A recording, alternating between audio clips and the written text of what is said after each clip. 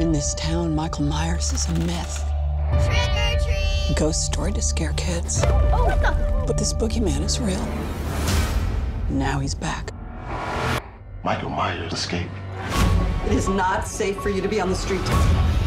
He is a killer, but he will be killed tonight. 觸目驚心，惡魔重現。Happy Halloween, Michael.